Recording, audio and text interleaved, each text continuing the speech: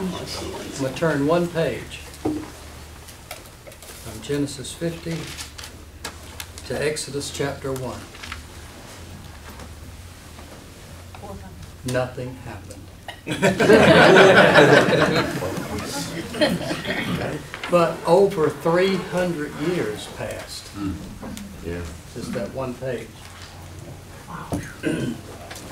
My point being that most of life is ordinary things. Hmm. Ninety percent of your life is, is gonna be sleeping, cleaning the house, going to work or school, and just basic relationships in life. We have 50 chapters in Genesis, and we have a lot that goes on there. Creation is a pretty big event. The fall of man, Tower of Babel, the flood, story of Abraham, God promising him a child with Sarah. 24 years later, nothing had happened. 24 years later. He went about with his goats and herds and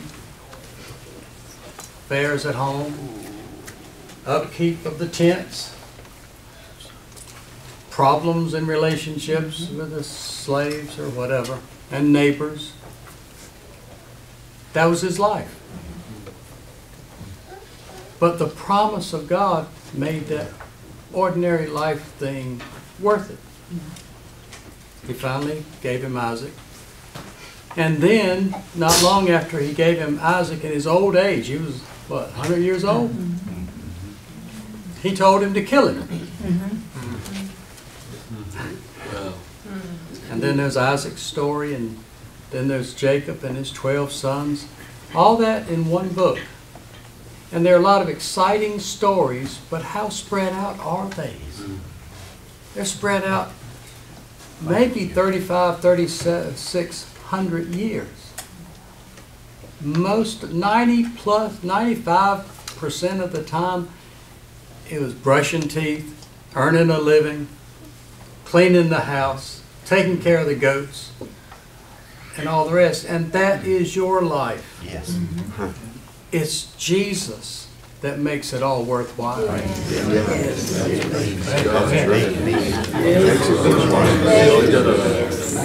And he's promised us a, a, a new earth where there's nothing but righteousness. Mm-hmm. No danger. This world is full of danger. There are thousands of ways you can get hurt, mm-hmm. inside and out.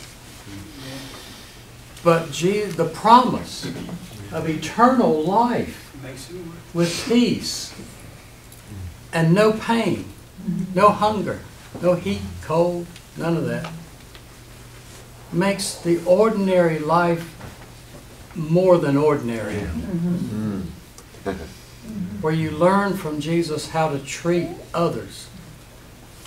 You live, you live with integrity and thanks, thanksgiving. Yes. If you children want to be really show your parents how thankful you are, keep your room clean. Yes. Yeah. That's a way to show thanksgiving Yes. for all you've been freely given.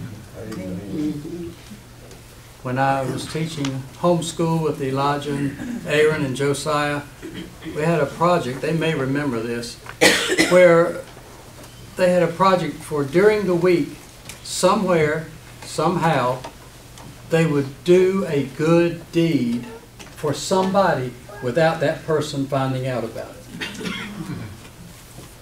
You remember that? Mm-hmm. Oh, yeah. And they did a pretty good job at it. They'd come back and give me their report at the end of the week. I did this or I did that, and they didn't know any, they didn't know who did it or they didn't know. That was a lot of fun. But righteousness makes life exciting. It helps you through challenging times. And it, I have heard, I've mentioned this before, over the decades, every once in a while you find a child of God so excited they go overboard. They start talking about they feel like God's going to use them in a mighty way. I've heard that a number of times. I've never seen God use a single one of them in a mighty way. Mm-hmm. Ever. They just over exuberant. Let me tell you what I think is mighty. I think if you have a peaceful home, that's mighty. If you have a normal life, sensible, down to earth, rooted and grounded, Praise God. and have good relationships, that is mighty. Yes, yes. was a man, young man years ago, was always getting miserable. He'd get this job and he'd get tired of it and go to a different career. Finally, he wanted to be a lawyer. Look, I, I told him in my office, I said, look, you seem to feed on a challenge. I want your challenge to have a peaceful, happy home in Jesus. Yes. Let that be your challenge. Yes. He failed miserably, but that would have made, that would have been mighty in my eyes. Yes, it is. And if we have a group of people, whether it's a third this small or three times bigger, that can get along and love one another, help one another, be sensible with each other, I think that's a great group of people. I don't care if it's five or six. Amen. It, it takes the Holy Ghost to really make it work. So if you want to be mighty and you want God to use you in a mighty way, keep your room clean.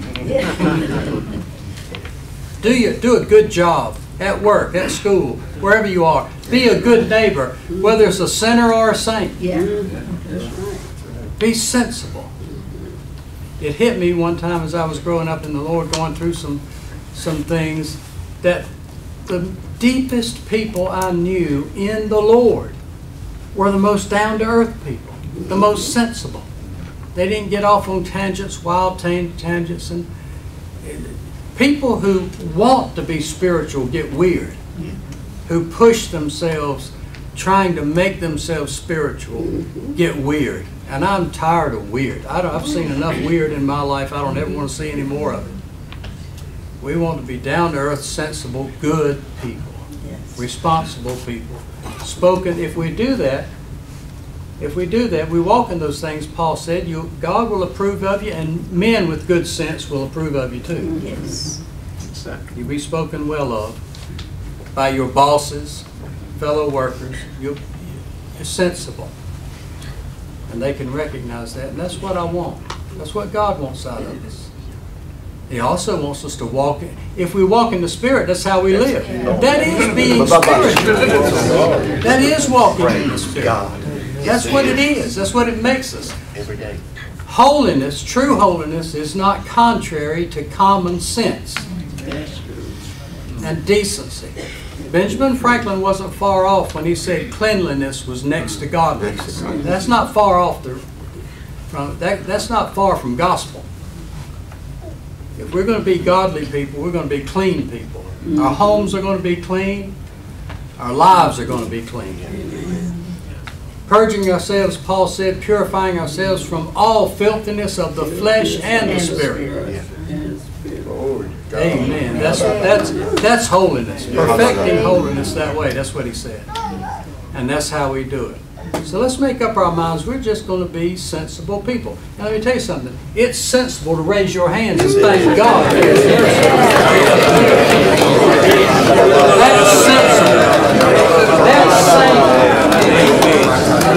If this was the same world, you'd see people at the gas pumps raising their hands for their gas and their money, gas and their tires and the- everything.